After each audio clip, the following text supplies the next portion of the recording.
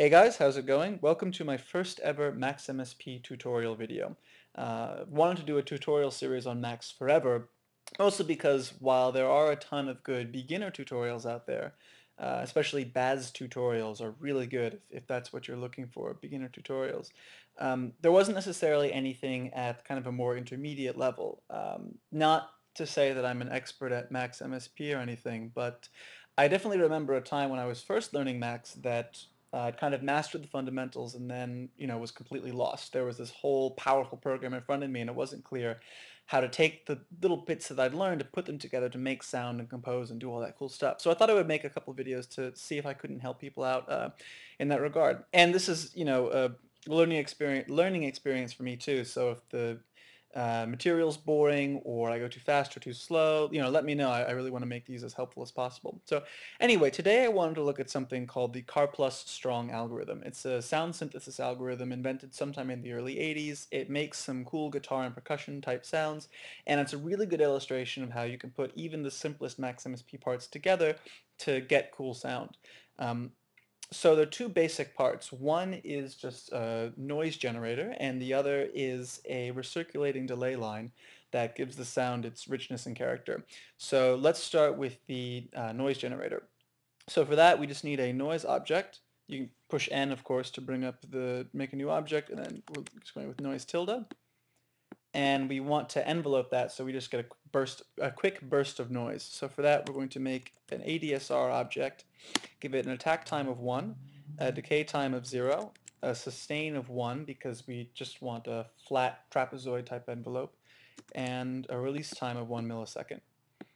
Uh, and I'm also going to go ahead and send a max sustain 10 message to ADSR and what this will do is set the max sustain of ADSR to be 10 milliseconds. And what that will do is that now when ADSR has uh, starts sustaining, goes into the sustain phase, if that sustain lasts more than 10 milliseconds, ADSR will automatically end its envelope, which is great. It makes an ADSR function more like a, a trigger and less like a toggle, um, which is what we want. So now go ahead and multiply the noise by the envelope, and set up a gain and an easy DAC, which is of course how we get sound out, hook everything up. And now if we've done everything right, when I push one here, we should get a little noise chirp.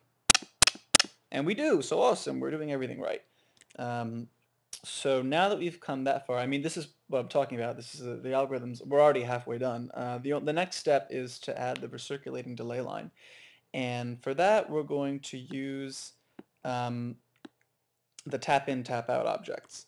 Uh, tap in, tap out is one way to get a delay line in Max MSP. There are other ways, but tap out is kind of the quickest and easiest way to do it if you want recirculation. So we're going to set the length of the delay line to 10 milliseconds. Uh, add a um, low pass filter. This is important. We're going to go with one pole, which is just a, a simple low pass filter. It's actually a one pole filter, and I, I, don't have a clue what that means, but it means something. Um, look it up or something. Anyway, so we're passing the output of the delay line to that, uh, attenuating by some factor less than 1 so that hopefully our filter, the delay line rather, the values don't blow up exponentially.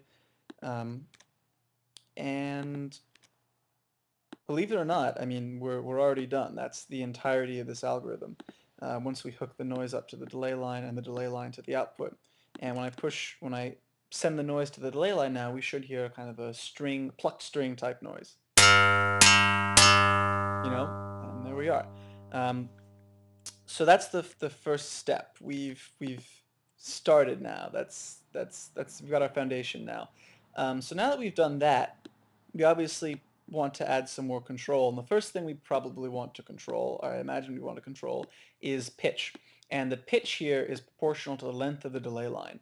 Um, that's because the length of the delay line determines which frequencies are resonate in the delay line and which frequencies are attenuated. Um, basically, any frequency whose period is an integer multiple of the length of the delay line is going to meet up with copies of itself as it recirculates and um, interfere constructively with itself as opposed to other frequencies which will have destructive interference. For a really good explanation of this, I recommend the Wikipedia article on comb filters. It'll give you a really good sense of what's going on. So anyway, if we want to change the pitch here, um, we have to change the length of the, the delay line. So to do that, we're going to make a K slider uh, to pick the for you know for pitch picking. I'm still zoomed in pretty far here. Let's zoom out a little more. And um, hmm. can you can you tell this is my first time sort of doing this? Anyway, let's move all this stuff over. K slider. Okay, so what comes out of K slider is MIDI, and we're interested in frequency. So I'm going to make a MIDI to frequency object to transform that into frequency. And then, like I said, the pitch comes from the length of the delay line where frequencies, the fundamental frequency is the frequency whose uh, period is equal to the length of the delay line. So we take the frequency that comes out of the um, uh, K slider there, we take 1000 milliseconds divided by that frequency. Um, notice the exclamation that there's the exclamation mark before the uh, divisor slash there. That's because we're taking 1000 divided by the frequency rather than the frequency divided by 1000.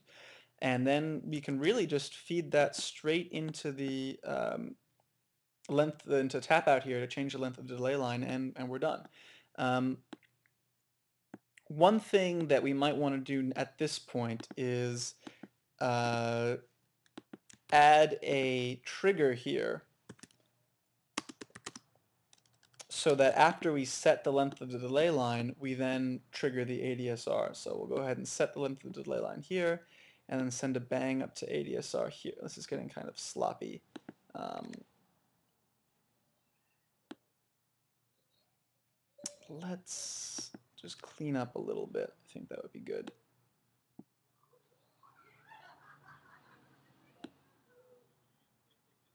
Um, sorry, send trigger, receive trigger. Sorry, I spaced there for a second. Uh, send trigger in here, and the bang will go to this trigger. And now when we push these keys, it will first set the frequency, um, sorry, set the length of the delay line, which uh, determines the frequency that will resonate, and then it will trigger, send this a trigger here, and go ahead and make get the envelope going.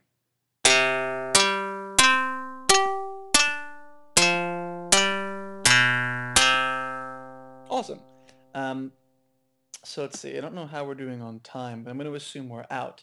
Um, from here, there's lots of other stuff you can do. You can play with the resonant. The, this, you can change this filter value here so that um, the note resonates differently. You can change instead of adding full spectrum white noise, you can instead go with a rand tilde object, um, which emphasize which has most of its energy concentrated below a certain frequency. So just really quickly, I'll change this to a RAND 600, which basically gives you noise, most of whose intensity is below 600 hertz, and immediately you'll hear a big difference in the way these in the in the sound you get out. Much, much, much more mellow sound. Um, so you can play with that and get different results out there. And finally, you can, of course, change this um, decay constant here to get notes that resonate longer um, uh, longer or shorter within within this delay line. And there you go. That's the Karplus strong algorithm. Um, there's tons of ways that you can tweak this and adjust it to get really unique sounds. It's really extensible and powerful. And you know, all we have here is noise, tap in, tap out, and one filter. And that's, you know, those are basically all the parts there. And those are really simple parts. Um, so there you go. Thanks for watching. I hope that was helpful. Um, you know, please let me know if, if something was unclear. Uh, and especially if there are other things you'd like to see demonstrated in Max, because I'd be more than happy to make a video about it. So again, thanks for watching, and uh, have a good one.